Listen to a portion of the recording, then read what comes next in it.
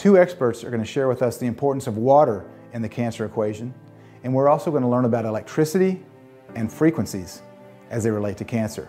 Why is it that some protocols have a lot more success than other protocols? Why is it that some protocols that are extremely successful you've never heard of?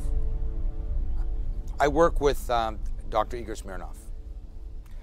Dr. Igor Smirnov, in 1986, when Chernobyl blew up, was one of the teams of scientists that came in to determine not why are there 3 million cases of cancer in this area, why these people didn't have it. And, and you never heard of that. Igor Smirnov went down and found there was this group of people that didn't have cancer. And they didn't seek the reason to help the others. They wanted to know why these people didn't. And they found it was related to the water. It gets really interesting here for everybody. The fact of the matter is, the mechanism was if you can superhydrate a cell, i.e., if you can get enough water into the cell so it functions optimally, it can basically take on almost anything. So what was happening was the structure of this water was changing by coming over the Caucasus Mountains and coming, instead of being isotetrahedral or pyramidal, it was coming in a linear format. That in itself doesn't mean much, but it can access something called aquaporins, go into every cell, carry nutrition into every cell, bring toxins out of every cell, but still that doesn't matter. It's allowing the cell, allowing the physiological function to be increased once again, not a cure, just enabling the body to do that. No one ever heard of it, called molecular resonance effect technology.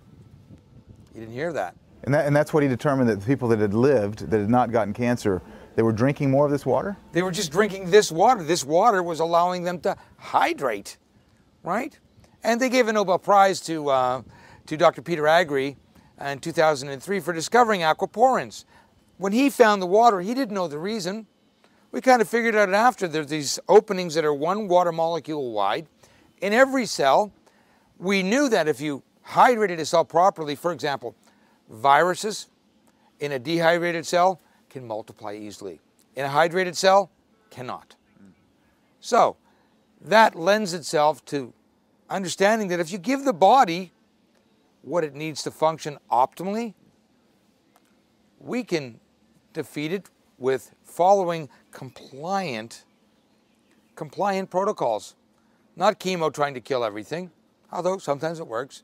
Not radiation trying to kill everything, but of course we know if you radiate something, doesn't it cause a tumor? Oh, I'm being silly. but the reality of that is, we know that we just have to enable the body. I think that uh, Dr. Smirnov's technologies are something everyone should use. Is it a cure? No. Does it help your body? Absolutely.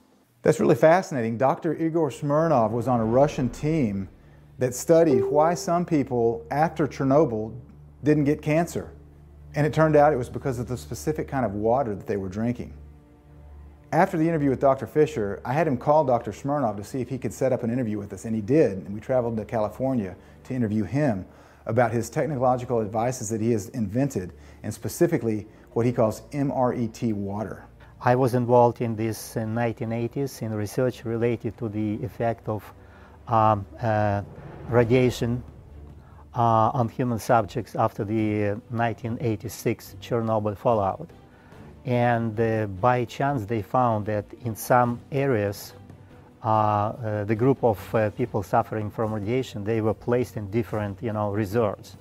And in some areas, their rehabilitation was much better compared with the other groups. And by accident, they found it was because of the spring mineral water. So we got samples, we, we did some study within a couple years. We actually found that it's not because of the, uh, you know, the mineral content of the water, but because of the unique molecular structure of water. And then it took me probably another 10 years to develop a technology how to recreate the same type of water in your kitchen.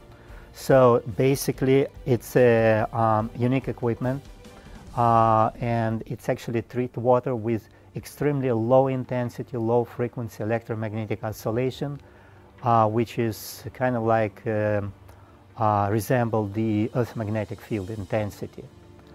And uh, we did a lot of research in regards how this water can affect human physiology, and we found it has a very profound effect. So there was a lot of studies uh, done in, uh, you know, in, uh, in Europe, in United States, and uh, in Russia in regards how this activated water, MRET activated water, can affect human what, what, does, what does MRET stand for? Uh, it stands for Molecular Resonance Effect Technology. Two American scientists, they got a Nobel Prize for discovery of so-called aquaporin channels. The main reason for proper hydration of cells is aquaporin channels. And what they found that actually the water molecules go inside the, these channels one by one with the speed of several billions per second. This is how it works. So in other words, it's very important for the human body uh, when you drink water to reorganize water in so-called single linear structure. In this case, it can easily go inside the cells. Uh, if the water uh, has different type of structure, then it requires a lot of energy for the body, for the human body, to uh, create the proper structure, so-called intracellular structure of the water. So uh, after doing research for MRET water, we found that the structure of this water quite closely resembled to the structure of the intracellular water. For this reason, when we ran so-called bioimpedance testing for water, we found that the after MRET treatment, water goes inside the cells three times faster compared with regular water. Mm. So it's obviously improved hydration of the body, and we know that hydration of the body is very important because uh, uh, per 10,000 molecules of water in the human body, there is only one molecule of the protein. So uh, the hydration of the body is number one mechanism which support the whole homeostasis in the body. We conducted a lot of research in, uh, in regards how this water can affect, for example, different form of cancer. This research was conducted at the University of uh, Kiev University, State University in Ukraine in collaboration with Oncology Center. And they use mice. It was done in vivo. They use 500 mice, which means it's very good statistics. And uh, what they found that if uh, uh, you just uh, treat mice with regular MRET water, their inhibition of the tumor growth is about uh, 60 to 50 percent compared with control groups. And uh, the lifespan of the mice in the group which was treated with MRET water was about 70% higher. 70% longer? Longer, yeah. Okay. So they live longer. Uh, we did a lot of uh, so-called in, uh, in vitro tests on cancer cells with this water. Uh, for example, in Althea DX, uh, it's a biotech, San Diego-based biotech company and they just uh, uh, treated the uh, cell media with MRET equipment because cell media is about 90% water. And then uh, they, you know, place the cancer cells, HeLa cancer cells, and regular human cells in this, treat, in this media. And obviously there was a control cells group. So what they found, number one, that on the regular cells, human cells, there is no effect of MRET water. So it's completely, you know, uh, safe. No effect. It doesn't uh, inhibit. It doesn't enhance growth of the cells. It's just normal.